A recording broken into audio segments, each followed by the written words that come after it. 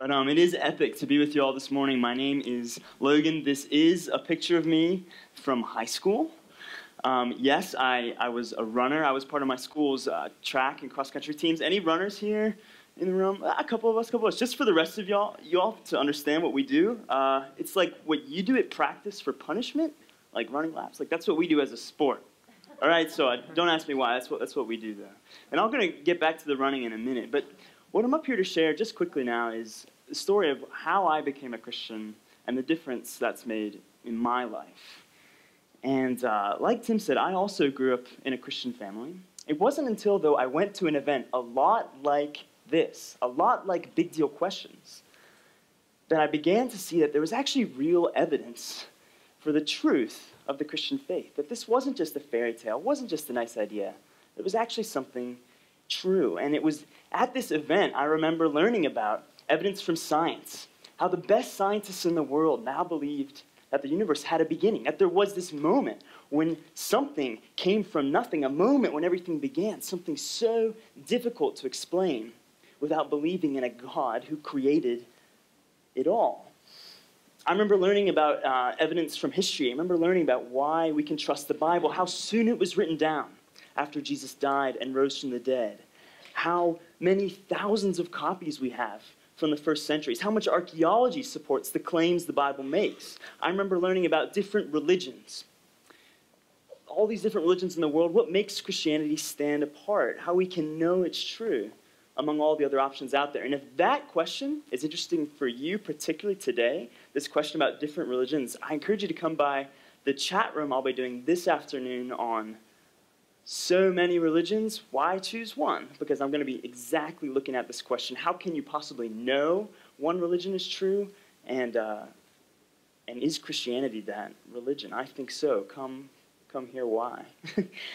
but so you see, it was at an event a lot like this that I began to see that the Christian faith was something really true.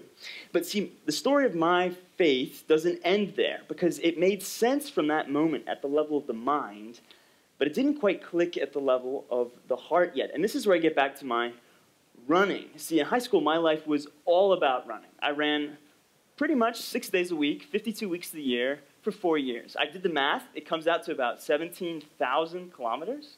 That's like running between here and England three times. So a lot of running. It was my life. It was what I did. And um, and I wasn't bad at it. I, my time uh, running a kilometer was about two minutes and 40 seconds. I was talking with coaches at different universities. Um, really excited to, you know, this was high school, I was excited about the future. Um, and then suddenly, one day after practice, I had a sore knee. Two weeks later, sore knee doesn't go away. Go to the doctor. Doctor says you have patellar tendonitis and you have to stop running. And pretty soon, not running, you know, Conversations with coaches ended. My team, without me, goes on to nationals for the first time in school history. I remember where I was in my kitchen, watching on my computer the live stream of the race, watching my friends run the race that I should have been in. And I was crushed. It really broke me. I mean, this is who I was. I was Logan the runner. That's, that's what mattered most to me. That's how people knew me. It had just been taken away, like just like that. And it just rocked me. I was down for months. But it was, it was soon after that that I actually went on a service trip to Central America. I went to a country called Nicaragua. And it was there I was with this group of Nicaraguan Christians. And something about this group just blew my mind. Because here were these people who, like, many of them weren't going to get the chance, or didn't get the chance to go to high school, or didn't finish. Many of them were struggling just to feed their families. These are people in the world's eyes where like success and achievement matters most. These are nobodies. And yet they had something that I knew I didn't have. There was just something different about them. You could see it. They had this joy and this peace. And I didn't get it. And I, you know, I had seen Christianity make sense at the level of the mind, but I didn't realize until I was with these Christians that Jesus also spoke to the level of the heart. Because here's what was going on. Like, Jesus said about himself at one point, I am the bread of life.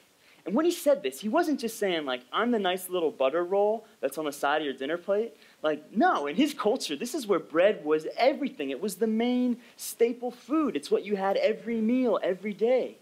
And so when Jesus was saying this, he was saying, Look, I'm the bread of life. Your soul is hungry. It's hungry. You're hungry for something that will give you satisfaction, that will fill you up, right? But you'll never be full unless you find that satisfaction in me. And I think I'd heard this teaching before. I imagine a lot of you have heard this idea before Jesus is bread, bread of life. Um, but it wasn't until that moment, seeing people who were just feeding on something that was filling them up in a way I could see, I realized that I had been feeding on things that weren't filling me up. I think we all do this naturally. For me, it was my success as a runner. That's what mattered most to me. That's the thing that when it was taken away, I wasn't just sad, I was crushed. And I wonder what that is for you. I'm, like it's the thing that you worry about. It's the thing that when you're not thinking about anything, your mind just wanders there. And what Jesus says is like these things aren't bad necessarily. It's just they can't bear the weight of finding your whole worth and identity in that.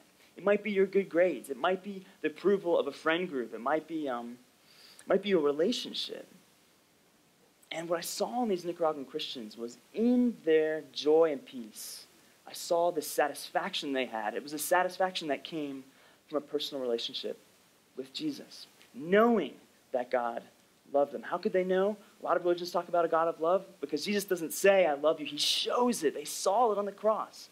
They knew it was a God who, who had good plans for their life, who cared for them. And you could see it wasn't just a nice idea, it wasn't just in the head for them. It had sunk down in their heart and it made a difference. And I saw that and I, I, just knew. I said, I want that in my life. And I remember the moment soon after that where I made this decision to commit to Christ, to say, like, like I see now that like it's not just true, but I see that I've been searching for like food and things that aren't going to fill me up. And I need you to be the source of my identity. And right away, here's what happened. Right away, I felt this, this peace, but it was this deeper kind of peace. It was this peace knowing that no matter what happens in my life, that I was secure. I wonder if you've ever been to swim in the lake or an ocean and you know that like up on the surface there are all these waves, right? And you're like bouncing around a bit. But then the moment you go underwater, right? It's like calm, peace. And that's what being a Christian has looked like for me. Because it hasn't meant that there haven't been more disappointments in my life or life's just been easy, but it's meant that when the waves are going on, up and down, up on the surface, that there's always this underwater space that's there. There's this peace, there's this security I have. My worth is found on something that can't be taken away. An injury could just wipe out four years of work just like that. But finding worth in a relationship with God, that's something that lasts. And the question I, I want to ask you this, this morning is, you know, do you have that kind of deep peace and joy that will last no matter what? I say that because I think that you can. And I think it's epic you're here today. You're thinking about these big questions. And my hope for you is just that you'll see today that Christianity isn't just true at the level of the mind, though I think that is the case. And I encourage you to ask the questions that you have, which are real and good. But I think that I also want to encourage you to see that starting a relationship with Jesus is something that can give you a real peace and joy that can't be taken away. It's something that can really change your life. So, thanks for listening. Love to see you maybe this afternoon if you want to chat about different religions, but that's just something to give you something to think about at the start of the day. So, thanks, guys. Thank you, Logan.